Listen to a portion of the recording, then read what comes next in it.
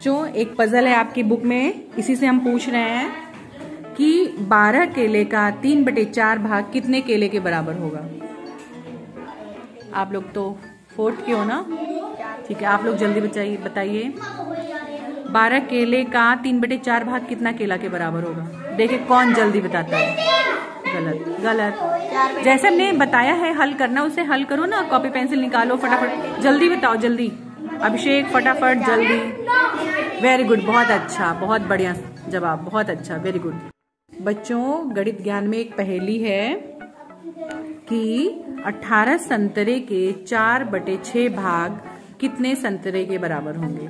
18 संतरे के चार बटे छह भाग कितने संतरे के बराबर होंगे? फटाफट करो, ऐसे नहीं। गलत, जल्दी लगाओ। पेंसिल का यूज़ कर। हाँ चार बटे छह। अट्ठारह संतरे के चार बटे छह भाग कितने संतरे के बराबर होगा? जल्दी बताओ, जल्दी। देखिए कौन बता लेता है। जल्दी। आंसर होगा बारह। रेडी फॉर पजल मीना ने सेब का तीन चौथाई हिस्सा खाया तो बताओ भिन्न के रूप में मीना ने सेब का कितना हिस्सा खाया? हम्म? तीन चौथाई खाया। यस अभिषेक ने सही बताया लता ने बताया बहुत बढ़िया। कितना हिस्सा तीन चौथाई मतलब तीन बटे चार। बहुत बढ़िया।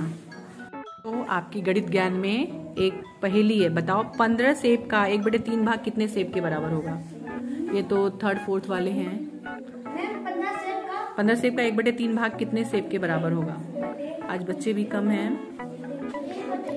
पंद्रह सेब का एक बटे तीन भाग कितने सेब के बराबर होगा? देखिए सब।